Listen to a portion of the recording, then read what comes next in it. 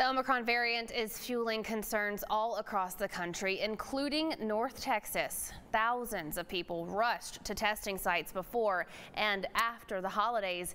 And David Goins shows us why those long lines may be here to stay.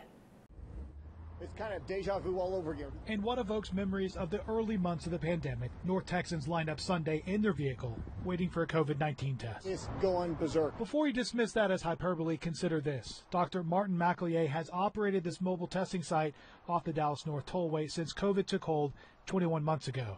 The medical director of Neighborhood Medical Center in Addison moved quickly from car to car, fitting for a variant fueled on quick and effective person to person transmission. McElhier says the positivity rate on tests here Sunday climbed to 30%, nearly one in three. We've got people streaming in all day long. Some are symptomatic, some are not symptomatic, but very, very high positivity rate.